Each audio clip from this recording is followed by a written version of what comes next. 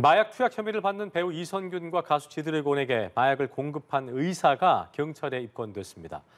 인천경찰청이 마약류 관리에 관한 법률 위반 혐의로 의사 A씨를 불구속 입건했습니다.